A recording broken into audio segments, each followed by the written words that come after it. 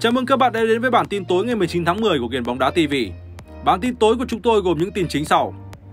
Bạn thân của Messi thừa nhận Ronaldo vượt trội hơn M10. Fan Manchester United đòi tống cổ Ronaldo khỏi sân Old Trafford. Đặng Văn Lâm thắng kiện đội bóng cũ tại Thái Lan. Huấn luyện viên Park sẽ được VFF dựng tượng. Sau đây, hãy cùng chúng tôi đến với thông tin chi tiết.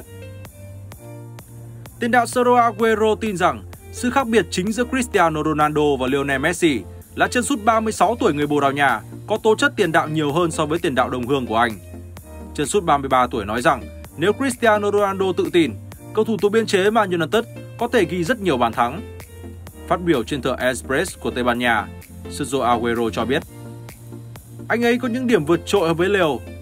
Với những gì Ronaldo đang có và khi anh ấy tự tin, anh ấy sẽ ghi bàn, ghi bàn và ghi bàn.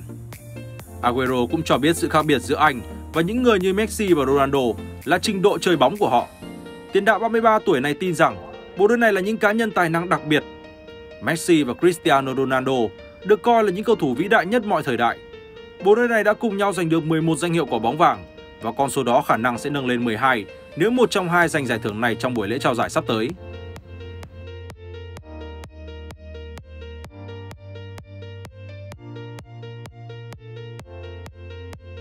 Nhiều người hâm mộ Man United đã quay lưng với Cristiano Ronaldo sau trận đội nhà thua thảm Leicester 2-4 tại vòng 8 Premier League. Những người hâm mộ đã chút sự thất vọng lên Ronaldo sau khi đoàn quân của Ole Gunnar Solskjaer mờ nhạt bị đội bóng giàu năng lượng Leicester vùi dập. Ronaldo chơi đơn độc bên cạnh những vệ tinh hỗ trợ xung quanh như Jadon Sancho, Bruno Fernandes và cầu thủ trẻ Mason Greenwood. Cổ động viên Man United đặc biệt khó chịu khi chứng kiến CR7 thiếu nỗ lực khi mất bóng và không chịu khó áp sát tầm cao lên hàng thủ đối phương. Dù không biết người hâm mộ nhắm vào Ronaldo, song việc nhiều cổ động viên cho rằng chính huấn luyện viên Solskjaer chứ không phải số 7 huyền thoại phải chịu trách nhiệm. Man United sẽ tiếp Atalanta tại Champions League vào lúc 2 giờ ngày 21 tháng 10 theo giờ Hà Nội, trước khi bước vào đại chiến với Liverpool đang bay cao vào chủ nhật. Đấy sẽ là quãng thời gian hết sức khó khăn với đoàn quân của Ole Gunnar Solskjaer, vì nếu tiếp tục thảm bại, chẳng ai biết tương lai của chiến lược gia người Na Uy sẽ đi đâu về đâu. FIFA vừa đưa ra án phạt sau sự cố chung kết Euro 2020 trên sân Wembley ngày 11 tháng 7 giữa Anh và Ý. Theo đó, tuyển Anh phải thi đấu trận đấu tới trên sân không có khán giả ở khuôn khổ giải đấu tại UEFA. Ngoài ra, Liên đoàn bóng đá Anh FA còn phải đóng phạt 100.000 euro. Theo lịch thi đấu sắp tới, tuyển Anh phải thi đấu trong điều kiện khóa cổng ở trận tiếp Albany trong khuôn khổ Nation League mùa bóng 2022-2023 vào tháng tới. Nỗi lo lớn nhất với Paris Saint-Germain ở mùa giải năm này là khả năng gây áp lực, pressing và phòng thủ khi không có bóng. Trận thua trước Rem tại League On, hai cuộc đối đầu với Club Brugge lẫn Man City tại Champions League phơi bày nhược điểm này của đại diện thủ đô nước Pháp. Nhiều người cho rằng ở tuổi 34, Messi trở thành hệ mắt xích yếu nhất trong hệ thống pressing của PSG. Tuy nhiên, các con số thống kê chỉ ra rằng kể từ đầu mùa, tân binh của Barca không phải là tiền đạo lười nhất của PSG. Nếu nhìn vào các con số thống kê và tần suất pressing, rõ ràng Messi còn chăm chỉ hơn Neymar, Rustler và thậm chí là Mbappe. Và có một sự thật khá bất ngờ rằng Mbappe mới chính là cái tên lười pressing nhất tại PSG với 7,99 lần trên 90 phút. Ở mùa giải năm ngoái, ngôi sao người Pháp cũng chỉ có 7,84 lần pressing đối thủ trên 90 phút.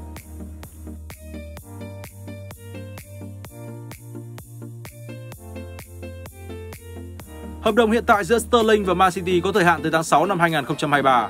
Tuy nhiên, vị trí của cầu thủ Anh lúc này không còn được đảm bảo khi huấn luyện viên Pep Guardiola liên tục cất anh trên băng ghế dự bị. Chính điều này khiến xuất hiện tin đồn về việc Sterling sẽ rời sân ETH trong kỳ chuyển nhượng mùa đông hoặc vào cuối mùa giải này. Sterling lúc này đang nhận được sự quan tâm của rất nhiều đội bóng. Nhiều thông tin cho rằng hai gã khổng lồ của Tây Ban Nha là Real Madrid và Barcelona đều muốn có sự phục vụ của Sterling.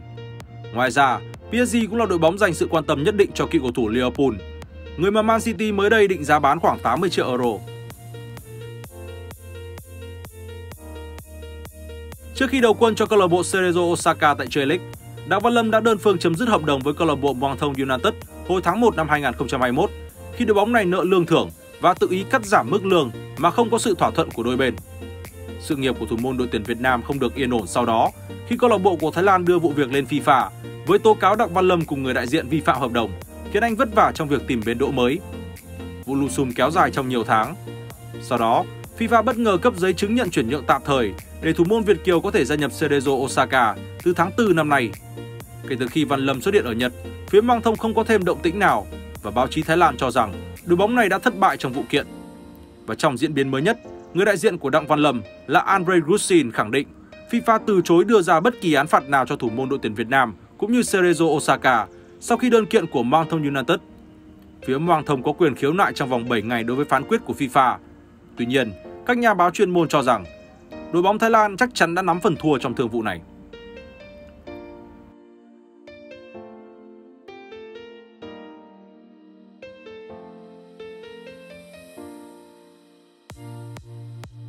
Chủ đề dựng tượng huấn luyện viên Park Hang-seo để tôn vinh đã từng nói đến vào cuối năm 2019, thời điểm ông Park và U22 Việt Nam vô địch SEA Games 30. Cụ thể, các bình luận viên nổi tiếng Việt Nam đã nói về chuyện dựng tượng huấn luyện viên Park Hang-seo. Vì xuyên suốt lịch sử bóng đá Việt Nam, ông Park là nhà cầm quân mang đến nhiều thành công nhất, được người hâm mộ yêu mến nhất. Hiện tại, mối nhân duyên của huấn luyện viên Park Hang-seo và VFF được dự đoán sẽ gắn bó thêm một năm. Trường hợp không tìm được tiếng nói chung thì cả hai sẽ chia tay vào tháng 1 năm 2022. Với những thành công to lớn kể trên, huấn luyện viên Park Hang-seo chính là huấn luyện viên vĩ đại nhất của bóng đá Việt Nam. Đấy cũng là lý do từng xuất hiện luồng ý kiến muốn VFF dựng tượng huấn luyện viên Park Hang-seo, mục đích là để tôn vinh và tri ân những công hiến lớn lao của ông Park. Bản tin bóng đá tối ngày hôm nay của chúng tôi xin phép được khép lại. Xin chào và hẹn gặp lại anh em